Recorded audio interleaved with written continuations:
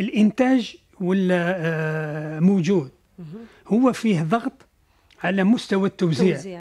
لأن الإنتاج لما نشوفه يعني السعة والإنتاج اللي يطرح كل يوم في السوق هو إنتاج يعني م- وفير م- وكافي. مضاعف لكن حبينا الآن نتعرفوا أين يذهب هذا المنتوج.